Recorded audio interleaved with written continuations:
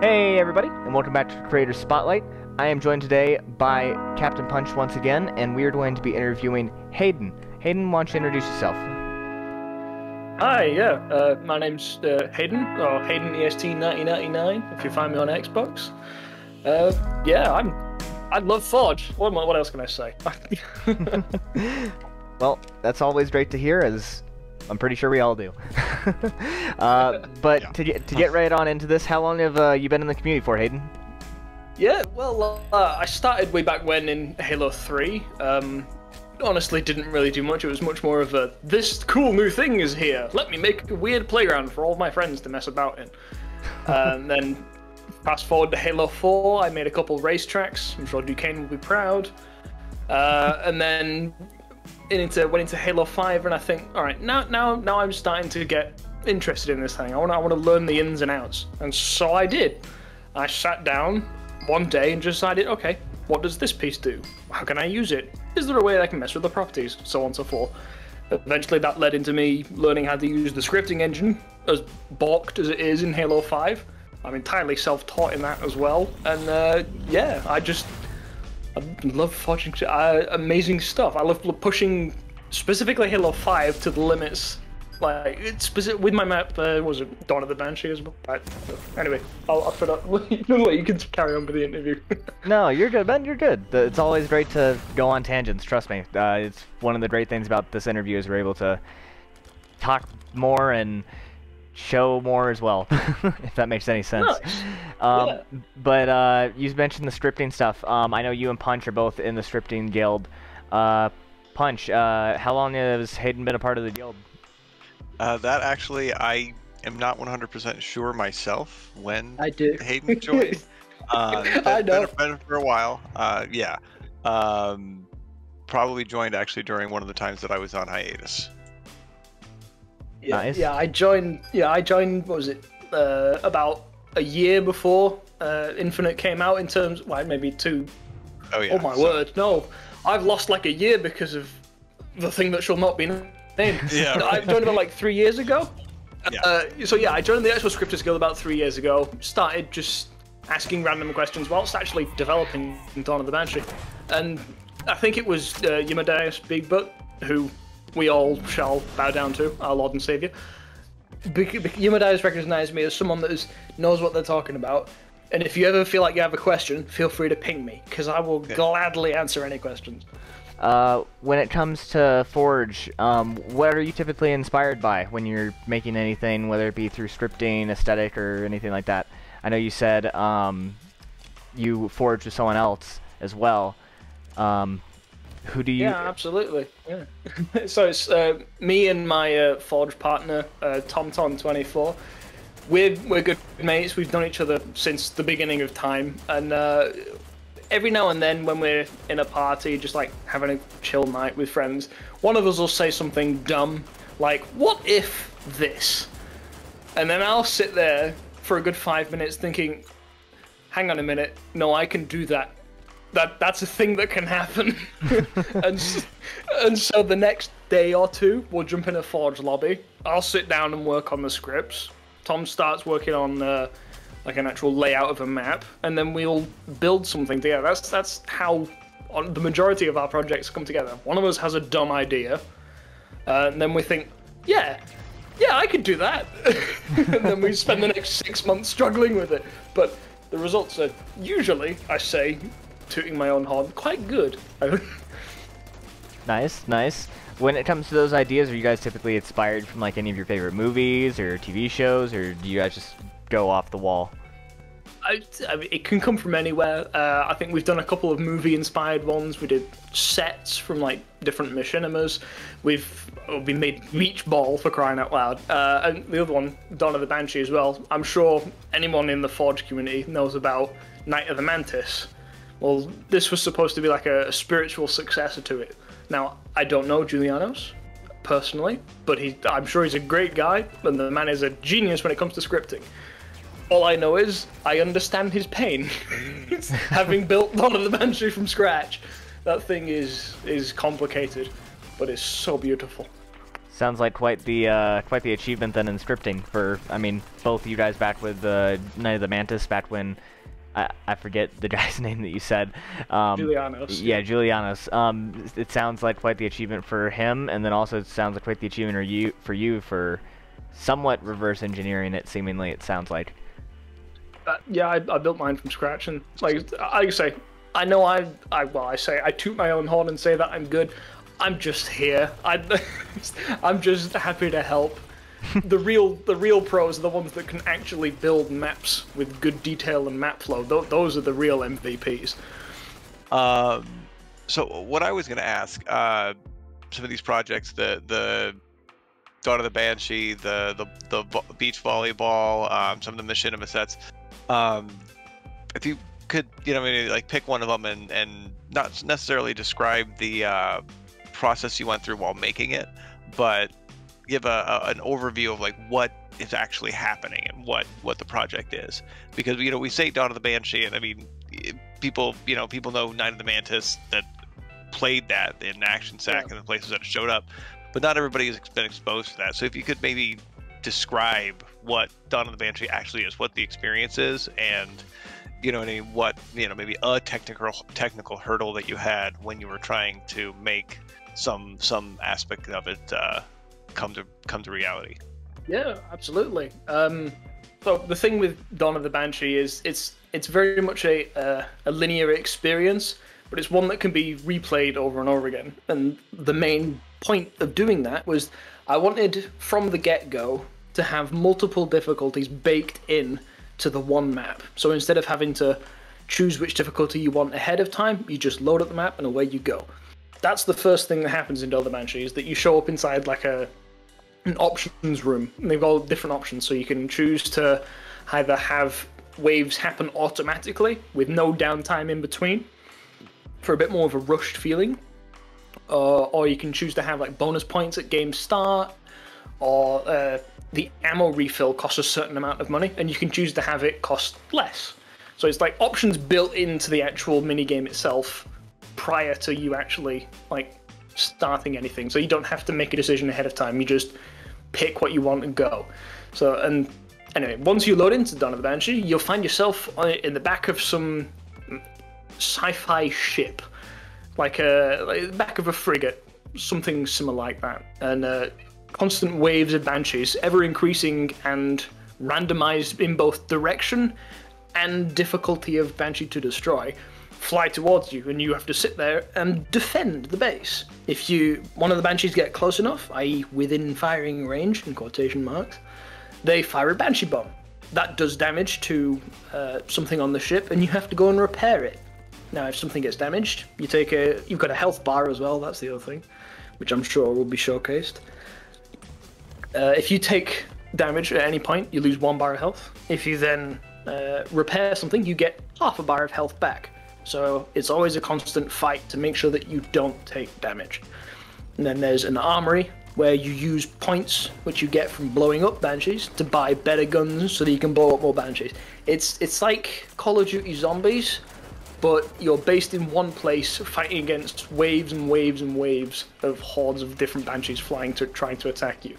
It I want there is an Easter egg on this map as well. That's probably the more complicated thing. It's a very contrived Easter egg, and I will send a virtual high five to the first person to find it.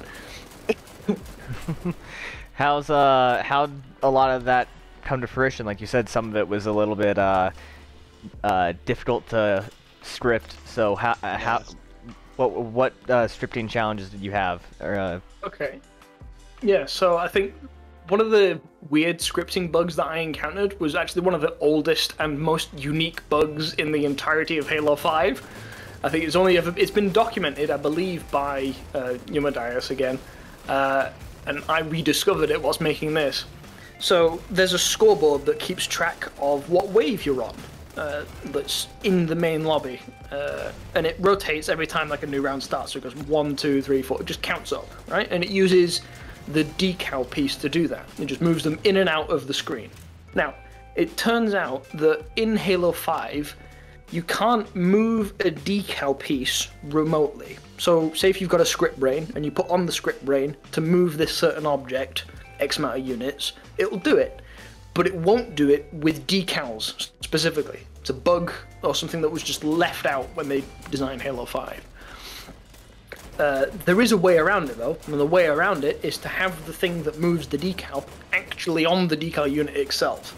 And that took me about four days of banging my head against my desk to figure that out. but the people in the guild were the ones that helped me figure it out. That threw me towards the wiki, read up that. It was worded a little bit different at the time, and I helped correct it. But it's that was a big hurdle for me trying to do that. It, it like I say, it makes no difference to the actual end game product, but it was a good four days of what's going on and how do I fix this. Sounds like a a, fu- a fun conundrum. Uh, yeah, Yeah. It was And, uh, it was a headache. and that's one of the reasons why you know having having a community of people that are working on projects and talking about them together like you can find those things faster when someone says you know i can't seem to use this script with these objects three and, and three other people say it it's like oh wait so maybe that's not a problem with everything that's a problem with just these things. Or hey wait this works this time. Or oh it worked when i did it because someone didn't assume that it wouldn't work and they tried it and it did in some weird con- con- convoluted way. Yeah. um, yeah i accidentally fixed something at work uh, in it just by hitting a different key at boot up because i didn't realize that it was like i just i missed. And i realized oh wait that's the wrong key and no no it wasn't actually uh, it was the right key and i would have found that out in like 10 minutes of looking things up uh, but I found it by accident and then confirmed it in 10 minutes of looking things up. Yep. You know, it's it's it's it's yeah, we the the community definitely um helps push that uh push that needle to we know more, understand more and have to bang our heads against the wall less. Yeah, absolutely. Yeah. That and like I said, the ability to just go into places like the Scripters Guild, like Forge Hub, and tag the people that know what they're talking about. Again, I really don't want to toot my own horn, but if you need questions or like if you have questions rather, and you need advice, tag me in the Scripters Guild. I will gladly help anyone if I have the time. What's crazy is actually uh, Programmer 163 or Guardian 163, the guy we interviewed uh, last time, actually said the same thing. So it's nice to see Yeah. that a lot of people are very open to helping uh, people out that are having struggles both in the Scripters Guild and in, I mean, here on Forge Hub we'll do the same thing. Um, not to the same extent as the Scripters Guild, of course, with scripting. Uh, you guys are absolutely killing it with that. But uh, We're a little weird. it, oh it- it's, crazy. it- it- crazy. it's it's always nice to go in there and like I like I I, I chime in every, every now and again or like just like lurk in, kind of see what people are doing. Uh, on a lot of different discords for both Forge, Halo in general, and even like the Scripters Guild I chime in on and uh, or lurk in on, I guess is a better way to put that. And like it's crazy to see how much stuff is still being like looked at in there and still being uh, helped out and all that, even now in what most people would consider the uh, off season of Forge. Oh, Yeah. yeah, absolutely. There's a- it- the more the way I look at it is the more people we can bring up with us, the better community we can have in the future. And that's that's Yeah. one of the things I love about the Halo community is that yes, there are a few bad apples, but it is drowned out completely by the overwhelming wholesomeness of the rest of us. 100%. And I, I'll, I'll definitely say something that I um, have been pondering on a lot recently, to some extent, is how like fragmented the community has kind of become in some ways. Like the competitive community hates the casual community, the casual community hates the competitive community, and then there's the Forge community, which is like a middle ground between the two, and like we've all slowly stopped like pushing each other up, but like if you look towards the Scripters Guild and other Forge discords and like other places in general, like you'll see that people are still pushing each other up, and it's one of those things where honestly, even though we're in kind of a content drought right now when it comes to content for the game, this is kind of one of those moments where it's like MCC was when it was very broken and we needed more content to suffice uh, the wait between MCC and 5 to where na- right. now is the time to where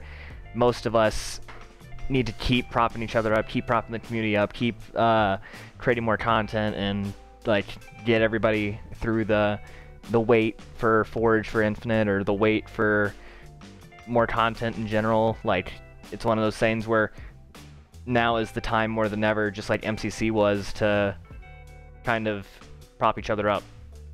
Yeah, like I think I tweeted about this a while ago. It's that devs are humans too. Have some patience, all will be fine. 100%. that that's it. a lot, a lot of people, a lot, a lot of people have been kind of vitriolic recently, which is which is semi-understandable. Uh, but you know, you shouldn't be sending death threats or be No. going to every single dev's like post or tweet or anything and like ca- calling them out or anything. Like, that's not something to do. Like, you don't have that happen to you for your job. I get it's kind of a different story with game development, but even so, it's common common cur- car- yeah common courtesy some like I said, just a little bit of faith, a little bit of patience. Things are coming. Good things are coming. We just need to wait. Yep. that is all. Uh, speaking of things that are coming soon and all that, and, and Infinite, I guess, what are some things that you would like to see in Infinite, whether it be scripting based or object based or feature based, etc. So yeah, things I'm looking forward to in Infinite. Well, there there is a very long list, but if I could nail it down to just one thing, I think it would be a robust, well put together, and easily accessible scripting system. Something that allows us to have complete granular control of the current game state. That would be an absolute pipe dream. The amount of things that us forgers and scripters could do, like we, we could be we could be making other games inside of Halo if we have a good robust scripting system. And that, I can't wait for something like that, or at least I hope we have something like that. I'm, I'm sure that definitely is gonna be where they go in a lot of ways. I mean, Halo 5 was kind of a incremental increase from MCC's scripting, so I think it's definitely in in the cards at least have another incremental increase to the scripting system. I sure hope so. Well, on top of that, I guess let's ask, what is one of your favorite things that you've scripted? My favorite thing? Oh, that's a tough question. Uh, hmm, okay, I think it might be as dumb and as simple as my Easter egg that I leave on every single one of my maps. This is not the Easter egg I mentioned before, by the way. So, on every single map I have, I leave a little statue of a pineapple wearing sunglasses. His name is Pineapple Dave, and I'm sure you'll be able to find him if you go and play my maps. And if you shoot him, he makes a grunt birthday sound effect. It is so simple, and I love it. So that sounds like a, a nice scripted thing, a nice little scripted Easter egg. If you, so you said you put that on all your maps? yeah, Pineapple Dave is hidden on every single one of my maps, and even a few that aren't mine, but ones that I've helped out on. If I can, I just drop him in as a little surprise. It's like, I was here. Nice, nice. You can just Uh, would there be anything else that you'd want new forgers to know for whether it be them starting uh, their maps or anything like that?